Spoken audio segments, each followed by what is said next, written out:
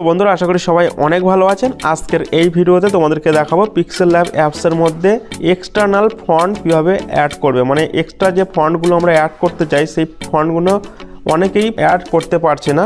কিছু problem face করছে, এরকম ধরনের প্রবলেম ফেস করছে। নো ডিলেটেবল ফন্ট ফাউন্ড এই লেখাটা আসছে বারবার। তো এখান থেকে কীভাবে তোমরা ফন্টগুলো অ্যাড করবে খুব সহজেই।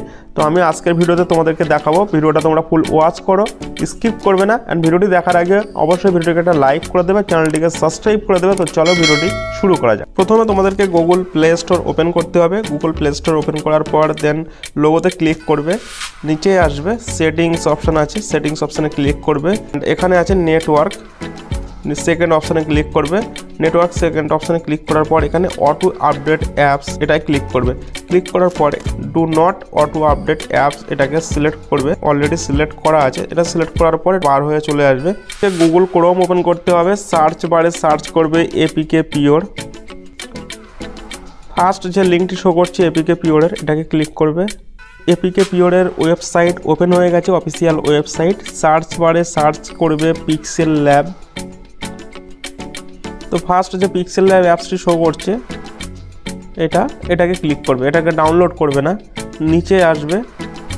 নিচে আসলে দেখতে হবে এর অনেকগুলো ভার্সন শো করছে। প্রথমে old version of Pixel Lab এখানে তিনটে শো করছে।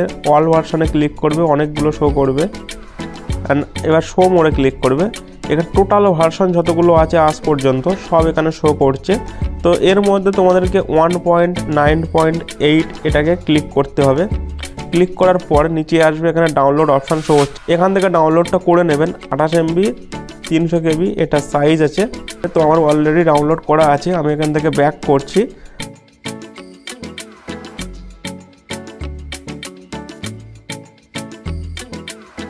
আমি পিক্সেল ল্যাব অ্যাপ্লিকেশানটি আনইনস্টল করে দিয়েছি মানে নিউ ভার্সন যেটা ছিল। এবারে আমি যেটা ডাউনলোড করেছি one point nine point eight ওইটাকে আমি ইনস্টল করব। মাই ফাইলস অ্যান্ড এপিকে আর এখানে আমার ডাউনলোড অপশানে দেখতে পাচ্ছ নট ইনস্টলেড এখানে ইনস্টল করা হয়নি।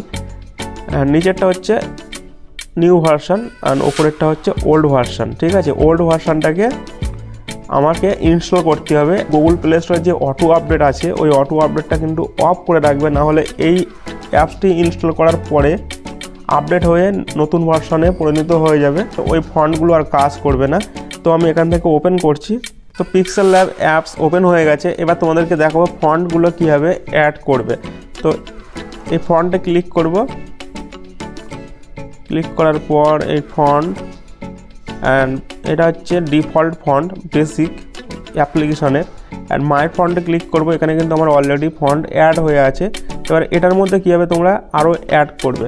তো ফার্স্ট যে টেক্সট অপশানটা আছে, এই টেক্সট অপশানে ক্লিক করতে হবে টি অপশানে এখানে তোমাদের ফাইলের মধ্যে যে ফোল্ডারের মধ্যে অ্যাড করে রাখবে ফন্টগুলো সেই ফোল্ডারটাকে সিলেক্ট করতে হবে। তো আমার এই ফন্ট অপশানের মধ্যেই আছে ফোল্ডারের মধ্যে। তো এখানে দেখতে পাচ্ছ সিলেক্ট করতে বলছে। কিন্তু আগের অ্যাপ্লিকেশনের মধ্যে ওটা no deletable font not found লিখছিল ওখানে। তো এখান থেকে ভালোভাবে তোমরা অ্যাড করতে পারবে। আমি এক্সাম্পল হিসাবে চার পাঁচটা আমার অলরেডি অ্যাড আছে, আমি এটাকে অ্যাড করছি আবার। তো এটা কিন্তু অ্যাড হয়ে গেছে। তো এরকমভাবে খুব ভালোভাবে অ্যাড করতে পারবে। এবার ফন্টগুলোর ডিজাইনটা কেমন আমি তোমাদেরকে দেখিয়ে দিই। ফার্স্ট লিখব এটা বাংলা ওকে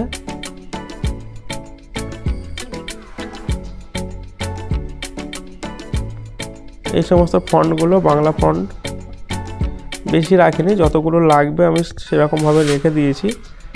অ্যান্ড ইংলিশটার মধ্যে কেমন আছে সেটা দেখাবো। পিক্সেল ল্যাব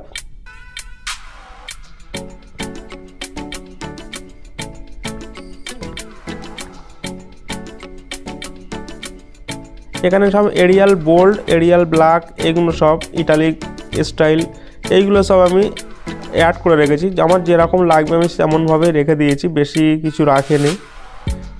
তাহলে এডিটের সময় সমস্যা হয়ে যাবে। খোঁজাখুঁজি করতে। তো বন্ধুরা, আজকের ভিডিও এতটুকুই তোমাদের সঙ্গে শেয়ার করার ছিল, যেভাবে ফন্ড অ্যাড করবে পিক্সেল ল্যাব অ্যাপ্লিকেশনের মধ্যে। তো তোমরা দেখে নিয়েছো, যদি ভিডিওটি ভালো লাগে, অবশ্যই একটা লাইক করে দেবে। চ্যানেলটিকে সাবস্ক্রাইব করে পাশের বেল আইকনটি বাজিয়ে দেবেন, যাতে পরে যতগুলো ভিডিও আপলোড হবে, তার নোটিফিকেশন সবার আগে তোমাদের কাছে পৌঁছে যাবে। তো সবাই ভালো থাকবে, সুস্থ থাকবে।